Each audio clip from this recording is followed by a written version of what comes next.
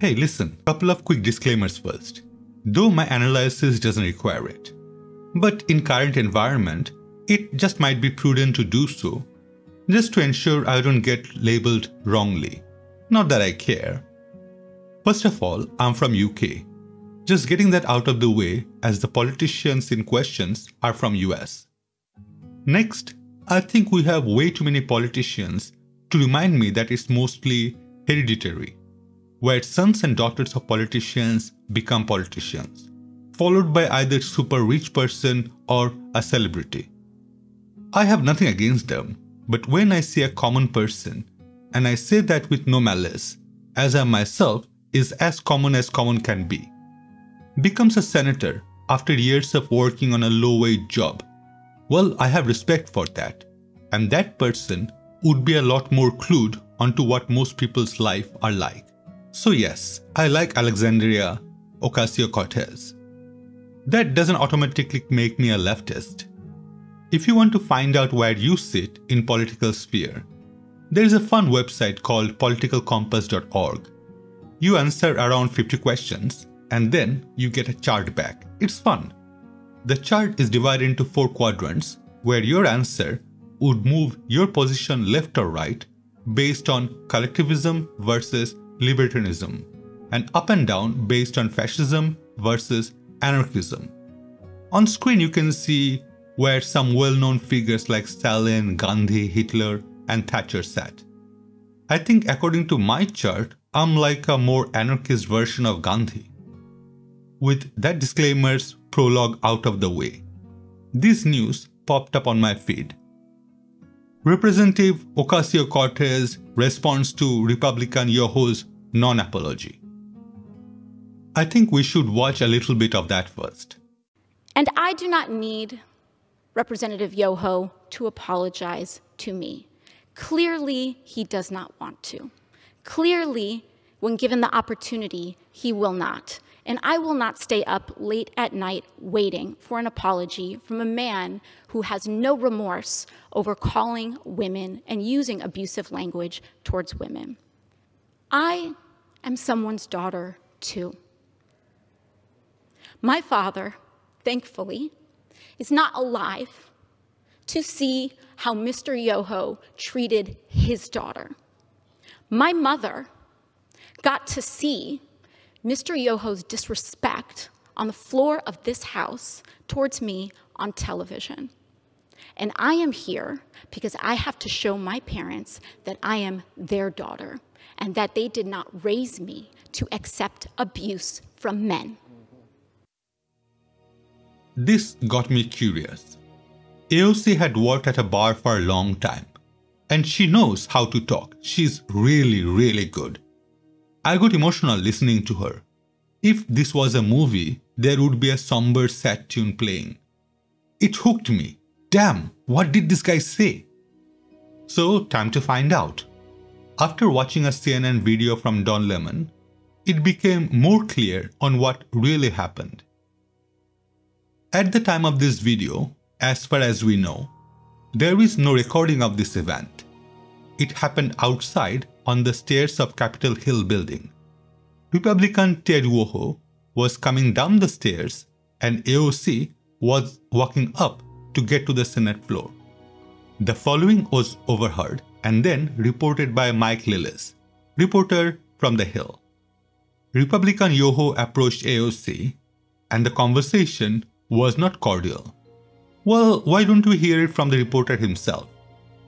Um, but then it became very clear after just a few moments that this was not a cordial discussion, that Mr. Yoho had some real issues with um, Ms. Ocasio Cortez's position on police reform, crime, uh, criminal justice, uh, and specifically, as you mentioned, her uh, her position that the police should be defunded and that the, the, kind of the root of the spiking crime in New York is unemployment, uh, is poverty, it is a lack of funding for social programs, um, and he really, you know, he really kind of went after her. He said um, that she was disgusting for holding that position, um, that she was way out of line. Um, she took offense. You know, she is no stranger to attacks from the right, and and so she took offense and said that he was being rude, um, and that was kind of the end of it in terms of the face to face. She went up to go vote. He went. He turned around, took a couple steps down, uh, meaning towards me on the street. Um, and as he was coming down, that's when he said the, the, the really harsh things. Um, I want to make clear that I don't think that she heard them, um, and uh, and and it, it, was not directed at her, though, although it was certainly a reference to her. Ted Yoho's denied saying effing B. Instead, he simply had muttered to himself, such freaking BS. Wait, is that it? Now, thinking back on AOC's beautiful speech, what's she talking about this event? Am I missing something here? Isn't she making a mountain out of a molehill? Before you dislike this video and leave, just give me a couple of minutes to give you my point of view. This is how we solve problems, right? By talking about it. First of all, are there men who hates all female? Yes, I'm sure there are. Is Ted Yoho one of them? I don't know him personally enough to make that judgment. Similarly, are there women who hates all men? Yes. Couple of months ago, a very prominent feminist tweeted about how men were not dying fast enough from COVID-19. From her previous stances, that seems very likely. But most of us don't really care about gender. I'm an equal opportunity hater. Though normally I don't use vulgar language, but this year has been, well, different. The last person who seriously riled me up was this guy, Red Pill Philosophy. And that was after he said this COVID 19 was a hoax to stop Trump from being president in November. Before that was this woman from a Florida meeting. And I think because she called this pandemic a pandemic, before that was this ass clown from UK talking about lockdown. See, my point is, I think every single one of these people are disgusting and horrible. Did I call them names off microphone? Hell yes. Now, my problem is, I have problem pronouncing some words. If you have watched any of my other videos, you would have noticed it. Thus, I have subtitles for all, well, most of my videos. And I have a problem with that B word. I can't pronounce it. Whenever I do, it ends up sounding like I'm talking about the thing next to a C. And I don't feel my insult needs to be gender based. It might have been if I could pronounce it. Instead, I alternate between moron or a-holes.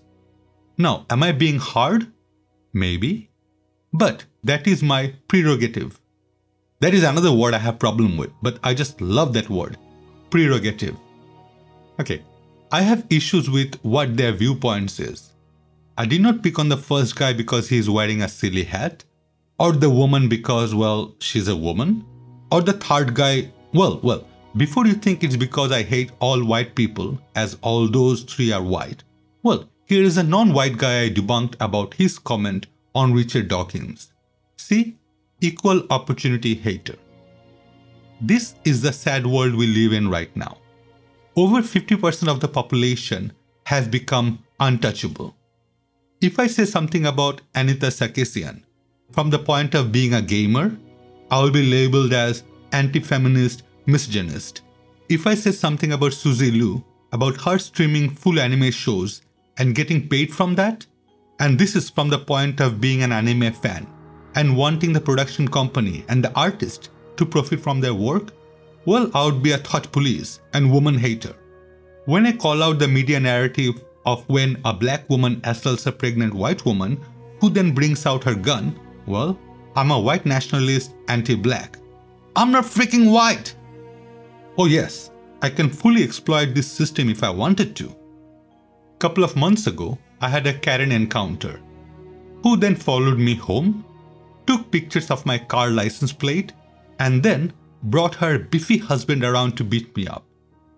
As these people just lives couple of houses up the road, I was a bit worried that he might just throw a brick through my window, and I don't really have the money to replace it. I thought maybe I can make a report and have the police go around and have a little chat as a deterrent. Well, when the police took my statement, they asked me if I thought it was due to the color of my skin. And if I said yes, they can treat it as a hate crime and escalate. After I finished laughing, I said no. They're just a-holes. So they went around, had a chat, and no bricks through my window yet. I feel sorry for you white dudes out there though. You're truly fricked. To wrap the whole thing, at times in life, people will be unkind towards you. It may be because they are vulgar, or maybe because you are garbage. Not everything is because of your gender.